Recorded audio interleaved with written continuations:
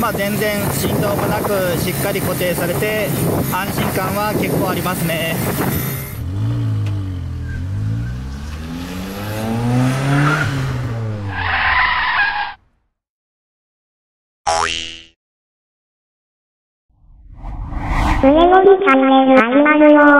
えー皆さんこんにちは。胸のりチャンネルです。今日はですねちょっとバイク用のアイテムを紹介していきたいと思います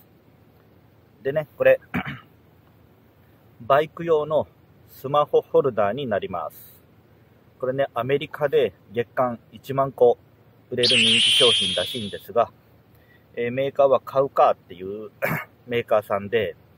それをあのジャパングローバルトレードさんが正規輸入して販売している商品になります。今日ね、その、このスマホホルダーをご提供いただいたので、紹介していきたいと思います。で、まずこれ開封していきたいんですが、商品はですね、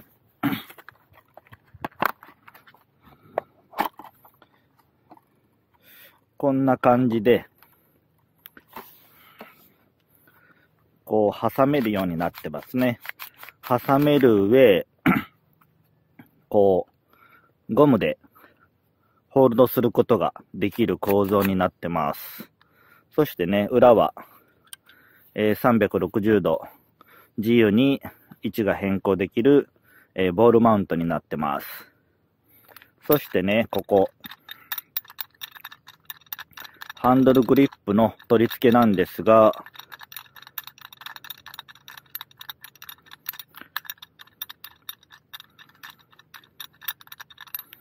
ここはね、しっかりこう、3段階に位置が変更できまして、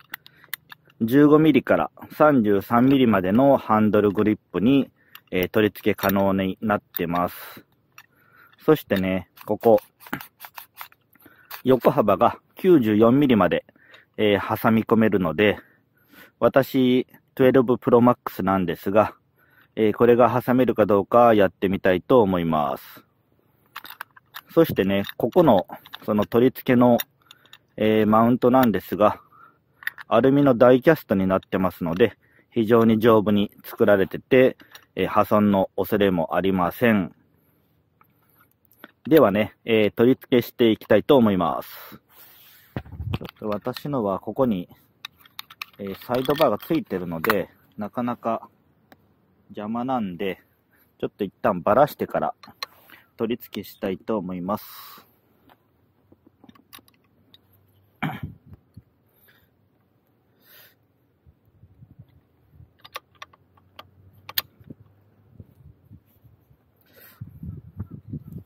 こんな感じで挟み込んで、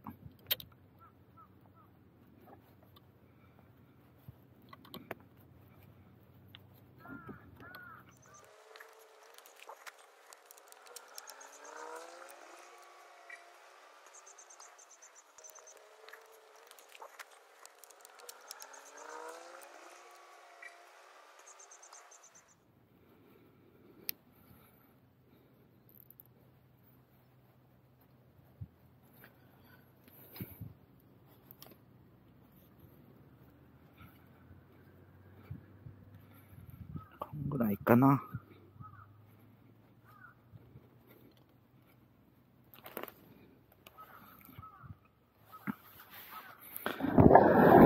ここの、え締め込みのボルトを回すつまみも結構握りやすくて回しやすいですね。しっかり 固定できます。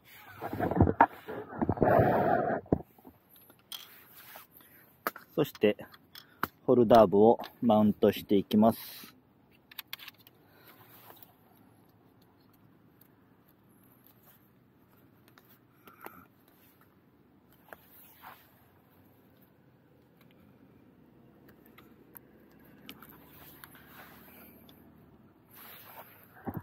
えー取り付けはこんな感じですかね。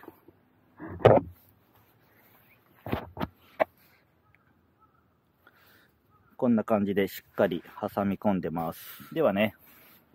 えー私のこの12 Pro Max、えー、ホルダーしていきたいと思います。これ、えー、片側だけがスライドするタイプなので、え、片側当てがって、こう挟んでいきます。でね、まあ、この状態でも、え、しっかりホールドはできてます。まあ、サイクリングレベルだとね、このままで十分かと思います。ただ、バイクとかの、こう、微振動とか、ハードな衝撃がある使い方ですと、しっかりとこの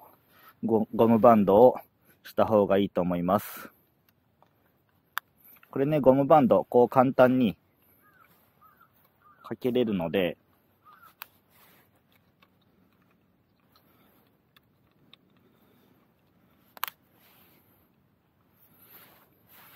こうやってね、しっかり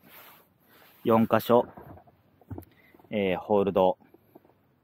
していってください。これでね、かなりの衝撃にも耐えれると思います。えー、あとね、このゴム、まあ結構な長さ、こう伸ばすので、まあ切れやすくなるとは思うんですが、えー、予備でもう1枚入ってますので、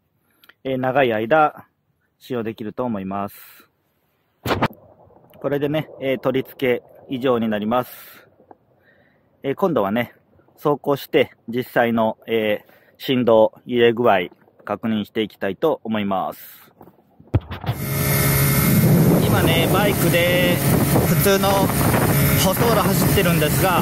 まあ、全然振動もなくしっかり固定されて安心感は結構ありますね。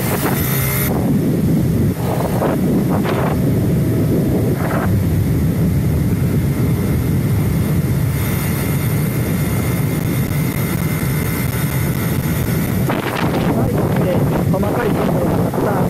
えー、スケッチなんですが、特にね、ぐらつくわけでもなく、しっかりと、えー、完成できてます。今日の動画は、カウカー社さん製の、えー、ジャパングローバルトレードさんが輸入しているスマホホルダーでした。結構ね、まあ、アメリカで売れたっていうのが、えー、分かるぐらい安心感のある商品だと思いますご視聴ありがとうございました